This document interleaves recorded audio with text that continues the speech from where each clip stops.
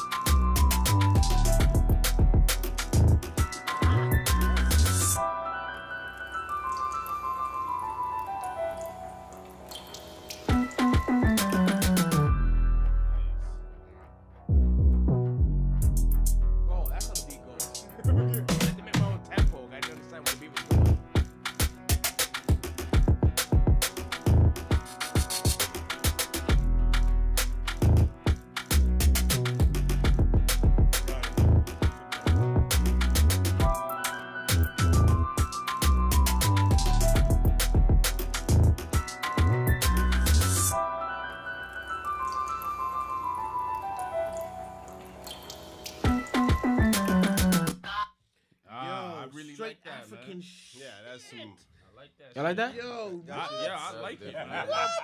Very Listen. intricate, man. Very listen, intricate. listen. My dude is my dude's from South Africa. As far as if you know the African patterns and the fact that he went to go No, I electronic, understand that 100%. he went electronic with the African.